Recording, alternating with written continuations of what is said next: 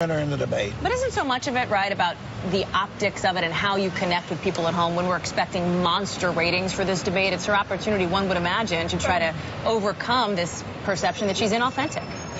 Yeah, but but I think I think when people watch a presidential debate, they're looking, they sort of close their eyes and say, can that person be president? They're not saying, can that person be authentic? They're not even saying, can that person be all that likable?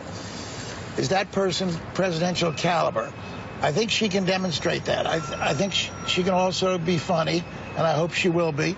Uh, Is that advice you've given her? Yeah, I, I actually agree with Reince Priebus. Smile more.